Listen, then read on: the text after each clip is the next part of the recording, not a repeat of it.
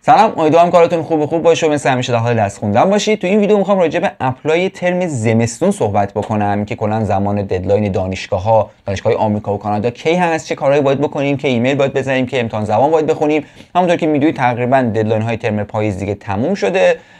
دانشگاه آمریکا که تموم شدن کانادا شاید تک توک مونده باشه و اگه در حال apply هستید هنوز مثلا استارت کار رو از قبل زدید که آره می‌تونید الان ایمیل بزنید و به حال مکاتبه تا روز deadline ادامه بدید. اما اگه 0 کیلومتر هستید تا الان apply نکردید یا هیچ کاری از قبل انجام ندید برای ترم پاییز زودترین پنجره apply زودترین فصل apply یی که برای شما هست همون ترم زمستونه. ترم زمستون هم منظورم از ژانویه هست. در واقع از ژانویه شروع میشه و تا معمولا April May اینا ادامه داره. ژانویه سال بعدش هم هست. توی این ویدیو می‌خوام یه قدر راجع به این موارد صحبت بکنم بگم کی شروع کنید چیکار کنید چیکار نکنید و اینا. و قبلش این نکته رو بهتون بگم. حالا شاید این نکته رو قبلا تو خیلی از ویدیوها گفتم. یا اصلا با عنوان این ویدیو دیده باشید بگید اه بازم ویدیوی برنامه‌ریزی بازم زمانبندی و اینا. یه اهمیتی که این ویدیوها داره و خود من خیلی دوستش دارم که ادامه بدم این ویدیوهای زمانبندی apply رو خصوصا اینه که همیشه بارها شده بچه ها به من ایمیل دادن یا مثلا نمی‌دونم توی اینستاگرام گفتن یا توی یوتیوب گفتن. گفتن که آقا ما مثلا نمره زبانمون نرسید deadline فلان دانشگاه رو از دست دادیم یا امتحان زبان دادیم کم شد یا GRE رو نتونستیم انجام بدیم و اینجور داستانا. خیلی از این پیام ها گرفتم. بخاطر همین می‌خوام بهتون میگم که خیلی مهمه تو پروسه apply شما زمانبندی و برنامه‌ریزی درستی داشته باشید. پروسه apply پروسه که همه بخشاش مثل زنجیر به هم وصلن. یعنی شما اول باید استادا رو در بیارید بعد باید ایمیل بزنید وسطش امتحان زبان بدید مدارکتون رو آماده بکنید خود apply رو انجام بدید جوابش اومد برید ویزا بگیرید. یکی از این کارها بد انجام بشه دیر انجام انجام بشه مثلا به موقع شما نتونید یه مدرکی رو برسونید خصوصا نمره زبانتون رو منظورم از زبان همون GRE اول تافل آیلتس و تافل آیلتس و GRE هست. همین پروسه براتون به هم میریزه. همون مثلا این direct که بهتون گفتم همیشه می‌گیرم تو اینستاگرام دیگه. به خاطر همین خیلی مهمه از قبل شما برنامه ریزی بکنید از چند ماه قبلش در جریان پروسه باشید استارت بزنید خودتون آماده بکنید. و خب شرایط ایران هم که می‌دونید دیگه هر بار میگه مشکلی پیش بیاد یهو برنامه‌تون به هم بخوره یه آزمونی کنسل بشه آزمونی برگزار نشه قیمت ها کم و زیاد بشه. به حال می‌خوام بگم که با برنامه‌ریزی جلوتر شما می‌تونید این جلوی این مشکلات رو بگیرید و به حال بتونید apply موفق داشته باشید. خب قبل از اینکه این حالا روند زمانبندی رو بهتون بگم که چطوری هست برای ترم زمستون حالا زمستون هم میگم spring هم جزوشه. یعنی زمستون یعنی در واقع winter و spring زمستون و بهار. اول بریم یه چند تا دانشگاه deadline شون رو با هم ببینیم یه مروری بکنیم یه حافظمون refresh بشه اصطلاحا. ببینیم که آقا deadline ها کی هست؟ ما deadline ترم پاییز رو می‌دونستیم توی ژانویه فوریه دسامبر اینا هستن دیگه.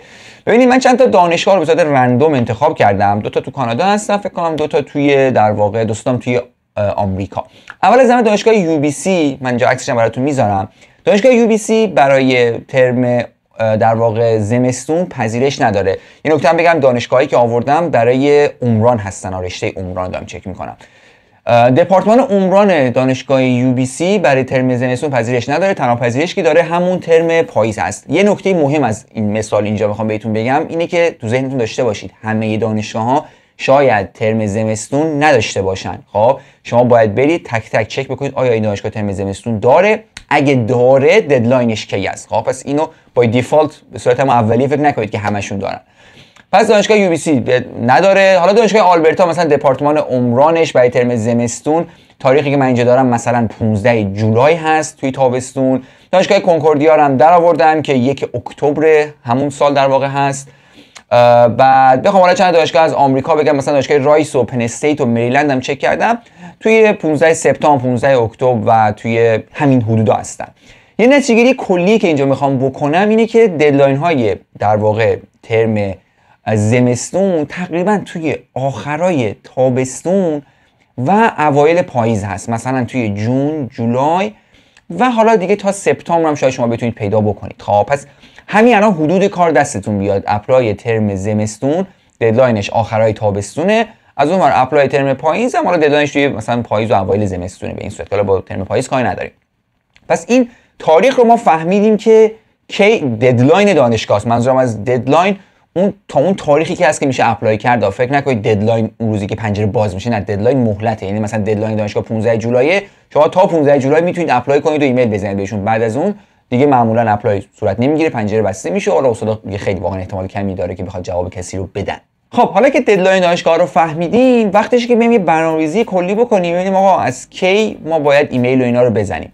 ببینید اصول کار معمولا یعنی جوری که عرفه همه انجام میدن اینه که deadline دانشگاه هر تاریخی هست دو سه ماه قبلش پروسه ایمیل زدن و مکاتبه و این داستانا رو شروع بکنن. خب چطور برای مثلا پاییز deadline دانشگاه دسامبر و ژانویه بود؟ ما می‌گفتیم از سپتامبر ایمیل بزنید.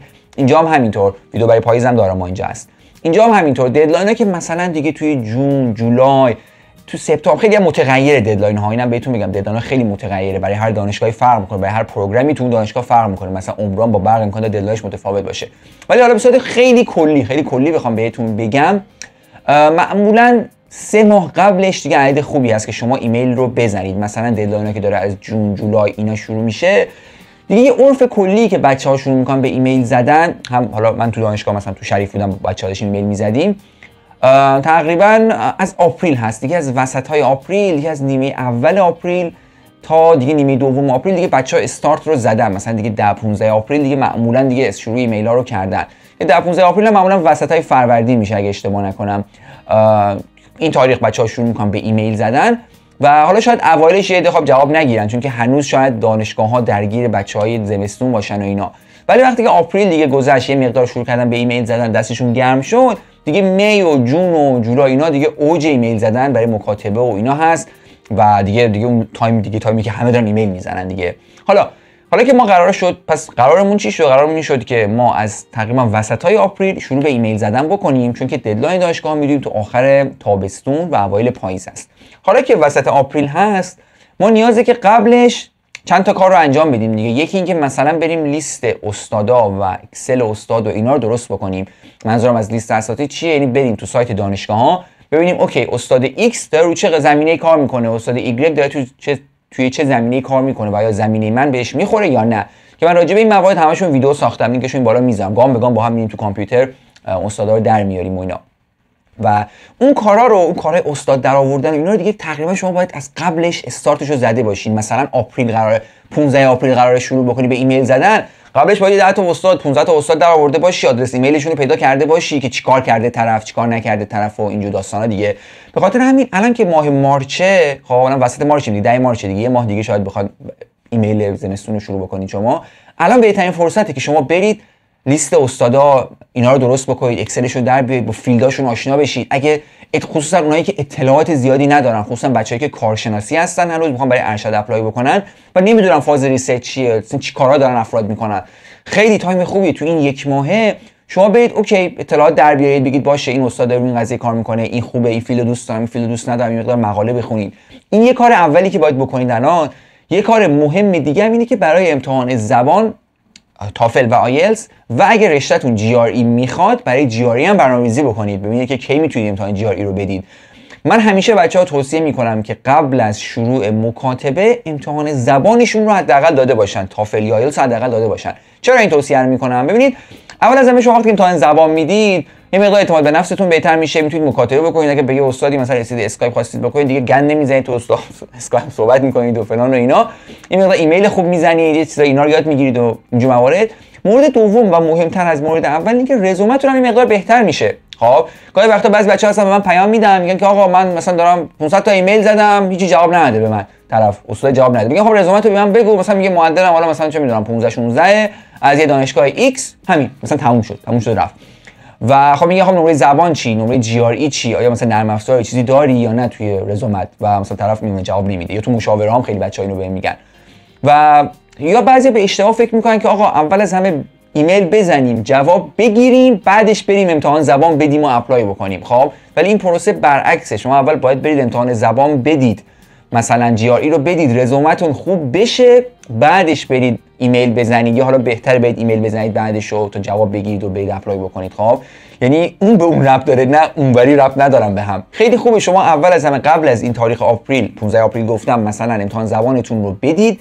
یه مقدار رزومتون بهتر بشه این نمره زبان داشته باشید این مقدار وضعتون بهتر بشه نمره زبان مثلا تافل خوب داشته باشید تافل 100 به بالا آیلتس دور بر 6 و نیم 7 به بالا همچین چیزی.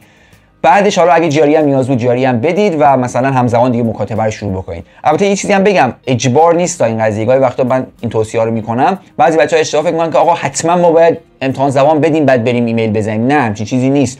عرفش اینه. شما امتحان زبان دیگه تا روز deadline دانشگاه موقع submit application داشته باشین نمرش رو. حالا بعضی دانشگاه وقتا فرصت بیشتر هم میدن. ولی می‌خوام بگم که خیلی بهتره شما این کارو بکنید یعنی برنامه‌ریزی که می‌خواد بکنید اینطوری باشه. من خودم پروسه apply اینطوری بود دیگه. من خودم 21 سپتامبر یادم هنوز تاریخش. امتحان زبان رو دادم و بعدش دیگه یک اکتبر فکر کنم ایمیل زدن. وقتی نمره زبانم اومد ایمیل زدن رو شروع کردم و دیگه نمی‌دونم مسیر رو ادامه دادم دیگه. بعدش هم GRE دادم. می‌خوام بگم که این توصیه من خیلی می‌تونه بهتون کمک بکنه و اشتباه برنامه‌ریزی نکنید تو این پروسه. خب پس یه review سریع بکنیم یه خلاصه بگیم که بهتر از همین الان استارت بزنید. یه مقدار استادا رو در بیارید راجع به field ای تحقیق field ای research آشنا بشید ببینید با کی می‌خواید کار بکنید با کی نمی‌خواید کار بکنید. تقریبا توی یکی دو ماه آینده سعی کنید امتحان زبانتون رو بدید. حالا یه مقدار از April هم شد اشکال نداره شاید یه ماه فرصت کمی باشه براتون بخواید آماده بشید.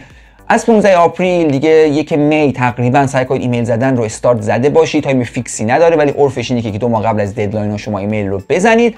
تو همین بازه‌ای که دارید ایمیل می‌زنید از April May تا حالا June July deadline دانشگاه ها دیگه باید نمره زبانتون رو بگیرید حتما. دیگه نمره GRE اگه نیاز دارید باید بگیرید. مدارکتون مثل SOP نمی‌دونم رزومه توصیه نامه اینا رو همه باید آماده بکنید تا که به deadline ها برسید و که یه apply موفق داشته باشید. من راجع به تک تک این مراحل ریز اینام همشون رو ویدیو دارم SOP نمی‌دونم توصیه نامه اصلا نمونه نمونه دارم تو کانال تلگرام. برو ببینید همه فایل ها هست. کلا اصلا ویدیوهای کار من یه دور مرور بکنید خیلی اطلاعات راجع به این قضیه می‌گیرید.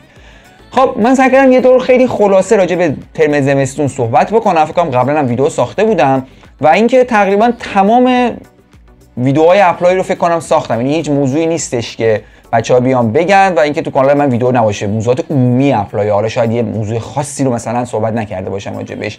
یه سری موضوعات حالا جزئی هست مثل ارشد مجدد خیلی از من می‌پرسن و دکترای مستقیم از کارشناسی به دکترا. سعی می‌کنم راجع به اونها هم ویدیو بسازم نظراتمو بگم که چه جوریه چه جوری نیست. و اینکه تقریبا دیگه این ویدیوها ویدیوهای آخر از سری های apply و زمان بندی و اینا هست. دیگه بعد از این می‌خوام یه مقدار تمرکزم روی همون بحث مقاله نویسی بزنم یه مقدار نرم افزارهای مفید بحث‌های research ی مفید خصوصا برای بچه‌های مهندسی معرفی کنم و تا اینکه ببینیم حالا به کجا می‌تونیم برسیم دیگه. خیلی ممنون که این ویدیو رو دیدید. نظرتون حتما توی کامنت ها به من بگید که کانال رو دوست دارید یا نه ویدیو مفید بوده یا نه. همچنین دو تا ویدیو هم در انتها بهتون پیشنهاد می‌کنم. یه دونه اینور ویدئوی در واقع استاد در آوردن رو براتون می‌ذارم که چطوری برین استاد و اطلاع دانشگاه رو پیدا بکنید. این ور ویدئوی Excel apply که خیلی به این ویدیو مرتبطن. امیدوارم همیشه موفق باشید تو ویدیو بعدی میبینمتون. خدا نگهدار.